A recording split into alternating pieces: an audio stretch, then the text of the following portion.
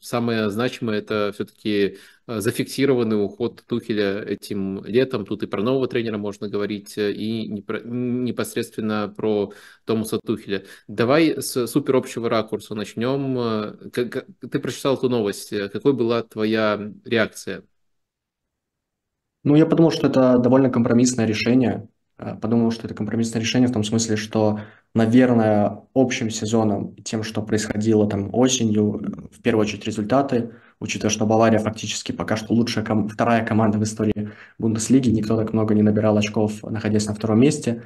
Э, и понятно, что Бавария сейчас на втором месте именно потому, что Байер слишком крут по результатам и по ходу. То есть мне показалось это компромиссное решение в том смысле, что Тухель не проваливал сезон ну, в каком-то совсем ужасном виде.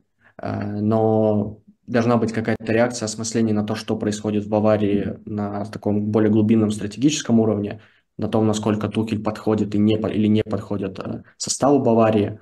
Э, и, наверное, ну, я как бы это воспринял как скорее данность. То есть в целом мне такие большие события, они редко, когда меня пугает, там, смущает. Вот э, забавно, вот если сравнивать на, на контрасте с Нагельсманом, типа, когда я тогда узнал, я ну, просто офигел. То есть э, я э, сразу пошел в Твиттер, смотрел дальше источники, когда первые слухи были. Я не понимал, что происходит. Э, я пытался найти какие-то ну, очевидные ответы, почему так. Здесь же была реакция типа «Окей, давайте смотреть, что будет в следующие там несколько месяцев и кто там будет дальше тренером. То есть просто как бы воспринял это как рабочий момент такой. Угу. Смотри, я думаю, мы еще подробно обсудим непосредственно игровые проблемы, позиционную атаку Баварии, но давай попробую тоже с такого общего захода начать и процитирую Рафа Хёнигштейна, известного эксперта, э, автора The, The Athletic. Вот э, был перевод его мнения в прекрасном телеграм-канале Байрон Дес Самамия, можете на него подписаться, там очень-очень много именно таких э, точных апдейтов по э, Баварии э, выходит. Вот самое важное, и, и, и, и с источником очень классно там работает автор канала, канала Ольга. В общем, Переходим к Рафи Фенништайну. Мне кажется, от его мнения очень тут можно здорово оттолкнуться. А, в общем, он э, указывает на то, что в качестве примера, э, что не так было в отношениях Тухеля Баварии, он указывает, что Тухель получил комбинацию, которую посчитал не, не, не работоспособной в центре поля, Кими Горецко. Он был похож на врача, который увидел, что пациенту нужна срочная помощь, но ему разрешили назначить лишь небольшую терапию. Так, э, так ощущение Тухеля описывал источник Хёнигштайна. Хёнигштейна.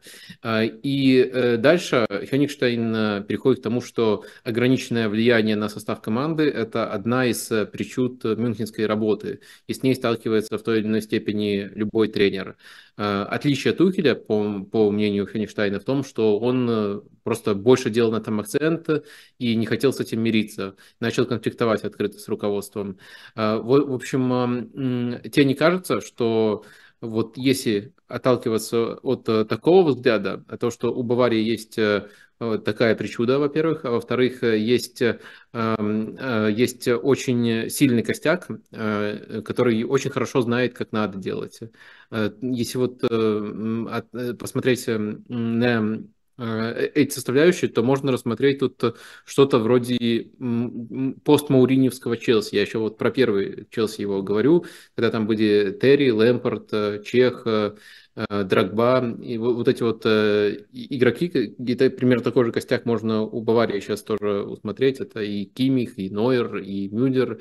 Э, это игроки с очень четким пониманием, как, нужно, как должна играть команда, и с пониманием, что чуть что руководство, на самом деле, даже если руководство немножко формально меняется, все равно руководство станет на сторону игроков.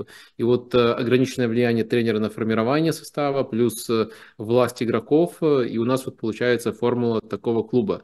Я не говорю, что это обязательно клуб э, плохой, и Челси тогда после Мауриньо добивался хороших результатов, и Бавария сейчас периодически выстреливает э, выше всяких похвал, но это делает э, команду очень трудно управляемой. И Тухель, на, на мой взгляд, пытался эту систему сломать. Во-первых, согласен ли ты с такой характеристикой этой системы? Надеюсь, люди да, еще с нами не, не потеряли нити. А во-вторых, эм, был ли у Тухеля шанс? Стоило ли ему быть сговорчивей?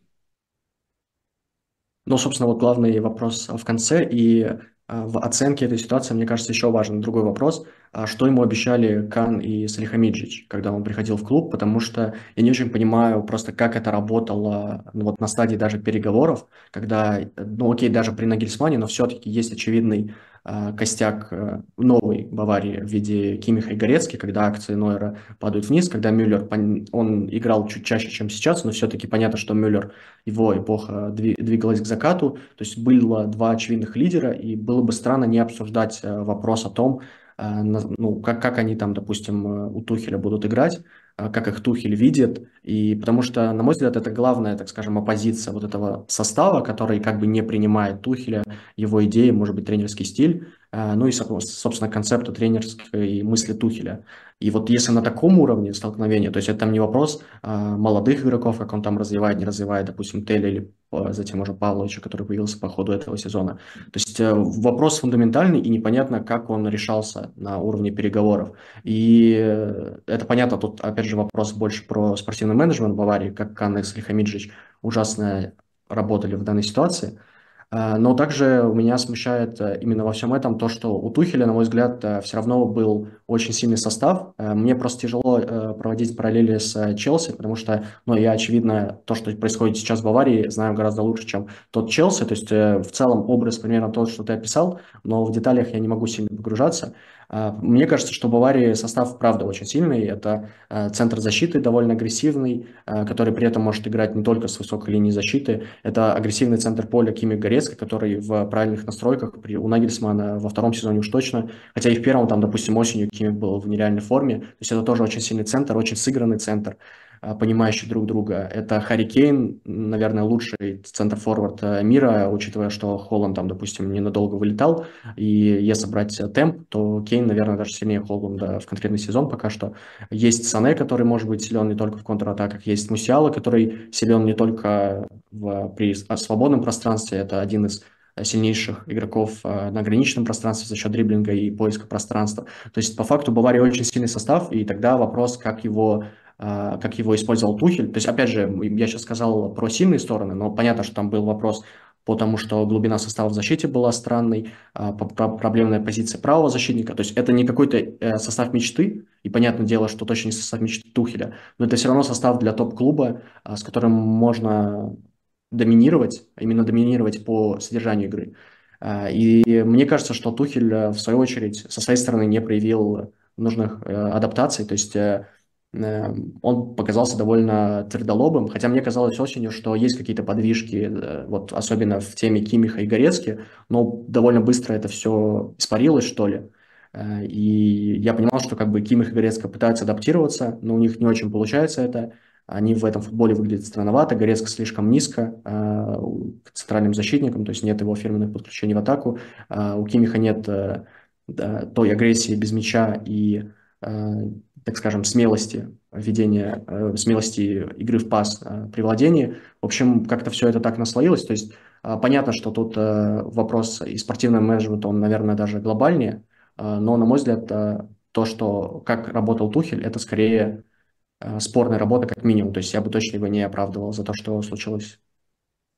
Э, слушай, не могу вообще близко тут с тобой спорить, э, прямо нечего возразить. Э, тоже, мне кажется, если ранжировать эти проблемы, то, конечно, можно говорить о некоторой широкой проблеме того, в, каком, в каких условиях оказываются все тренеры Баварии, но Тухель все равно получил ресурс, из которого можно было намного больше выжимать, ну и плюс конкретные решения, которые мы сегодня, до которых мы сегодня доберемся, но они иногда просто фейспалмы вызывают.